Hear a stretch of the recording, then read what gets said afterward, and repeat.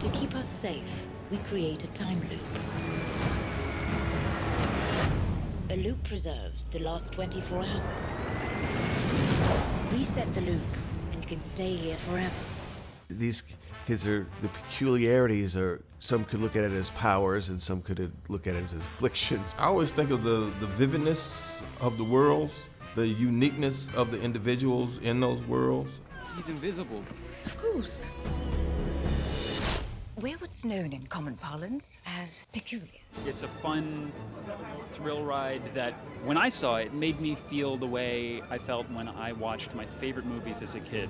I love the fact that you can see an image and it tells you a story without telling you everything. You know, you leave up your own uh, imagination and your own interpretation of what it is that that, that, that uh, intrigues you about that image or that picture.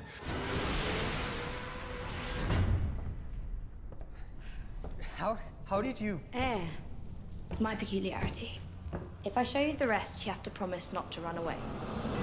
Atmosphere is so important to the books and the environments, and Tim really captured the island and the house and the world, and it just looks great on film. We ended up casting that a bit further out and ended up finding a house in Belgium, which when I saw you know, walking through the trees and saw it, I just thought, wow, you know, it was it wasn't like an institution or a hospital, it was like a home. It was a, had a weird sort of strange elements, but all came together in a house, and it just felt to me like it, it's just funny. I when I just saw it, I go, this seems like a home for peculiar children. Promise me one thing, Jake, that you will look after them all.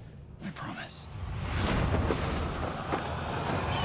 Kind of figuring out that I could have fun with it and not necessarily be, you know, this evil thing. I mean, I look one way, so why should I act that way? You know, so I wanted to play against type. How do you do? I've always wanted to work with Sam. You know, I, I, he's somebody I could just watch. If I see, know he's in a movie, I just want to see it.